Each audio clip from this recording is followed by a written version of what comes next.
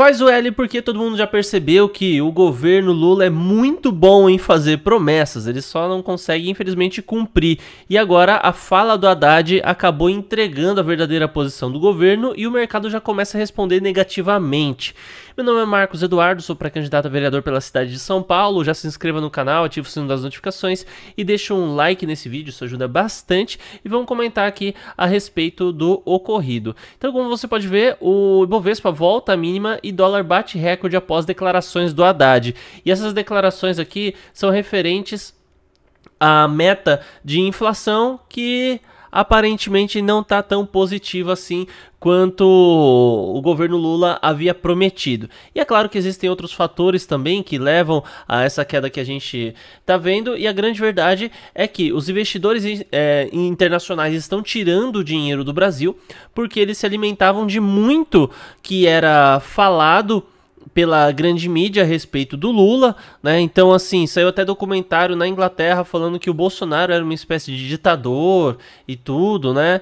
E assim, eles falavam tudo de mal em relação ao Bolsonaro, e em relação a Lula eles falavam muito bem. Então, quando Lula chegou no seu primeiro ano de governo falando que ele ia trazer o tão sonhado déficit zero, né? Tão sonhado para ele, né? Porque o Bolsonaro já entregou um déficit positivo no, no último ano de governo mas eh, ele ficou falando desse déficit zero, né? A gente vai investir em áreas prioritárias, ao mesmo tempo não vamos fechar devendo, né? Ou seja, ele não ia fechar o ano nem devendo, nem sobrando dinheiro.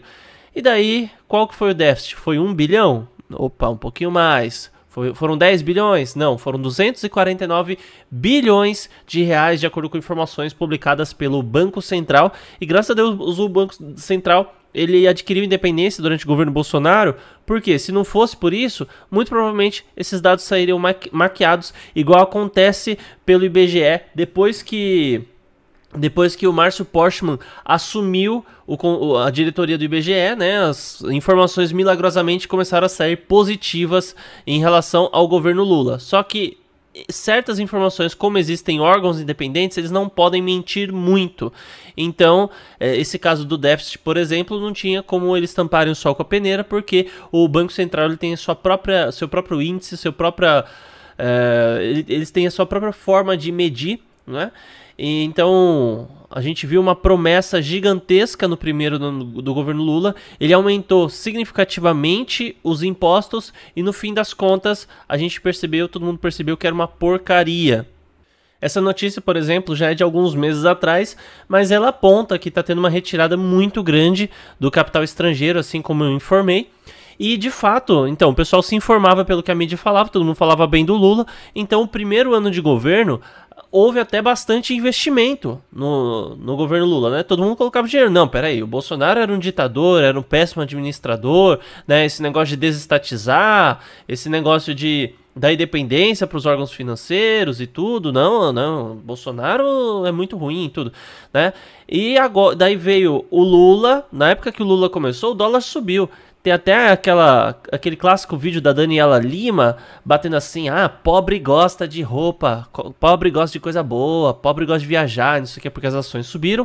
Porque de fato, muita gente acreditou que o Brasil fosse melhorar. Só que daí o Lula começou a cobrar um monte de imposto e, e gastar bastante, né? Então a gente viu aí 83 mil reais com troca de. Se bem que ainda tá na casa do milhar, não é tanta coisa. Mas é só um exemplo dos gastos, né? 83 mil reais para trocar todo o enxoval dos palácios. Ele falou que não, não tinha encontrado os móveis do, palha... do palhaço, ó. É, Bozo, né? Bozo, palhaço, enfim. Ele falou que não tinha encontrado os móveis do palácio, né? E daí. É, foi uma grande desculpa para ele poder comprar outro, né, no fim das contas.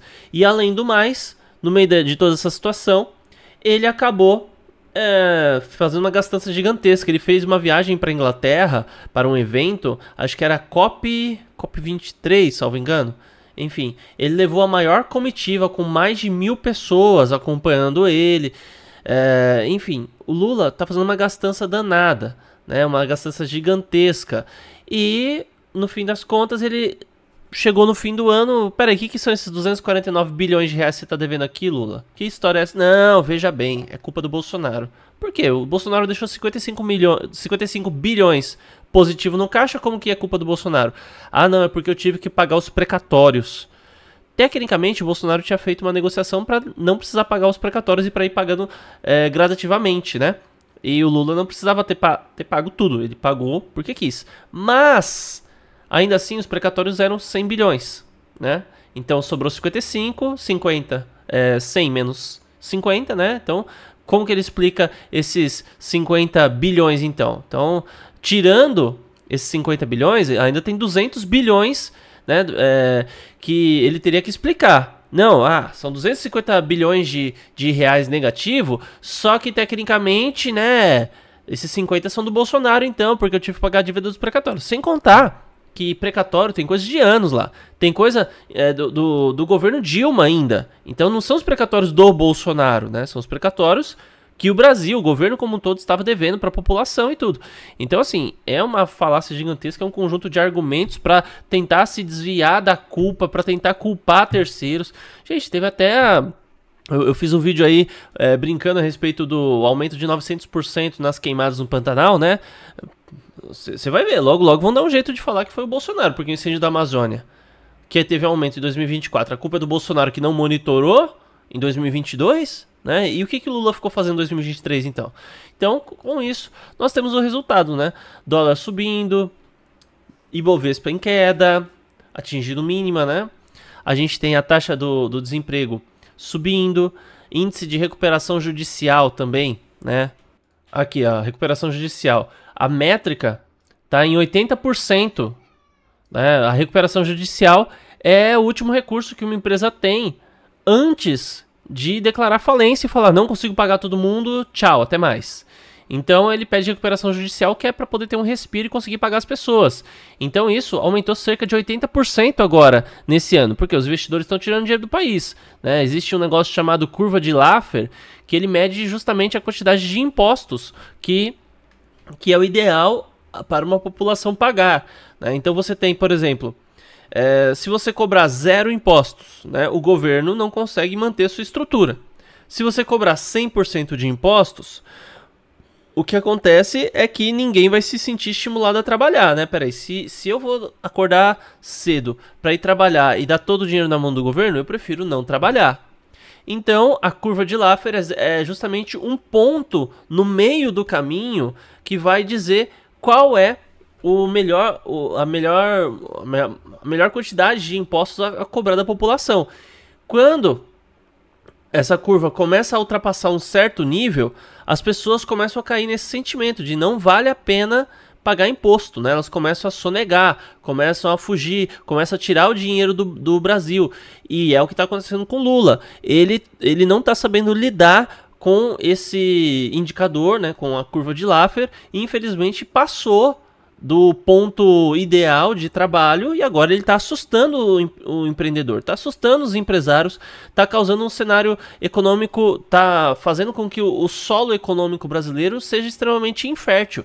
Porque se tem um administrador que já está passando por problemas e ele de alguma maneira vai, vai contar com a boa maré do mercado para conseguir prosperar, infelizmente, se ele for contar com a maré que é promovida pelo Lula ele vai se lascar. Essa que é a verdade. Então é isso, pessoal. Muito obrigado por ter assistido. Espero que o material tenha sido útil. Inscreva-se no canal, ative o sino das notificações e deixa aquele like maravilhoso aí que tanto ajuda a gente. Até mais.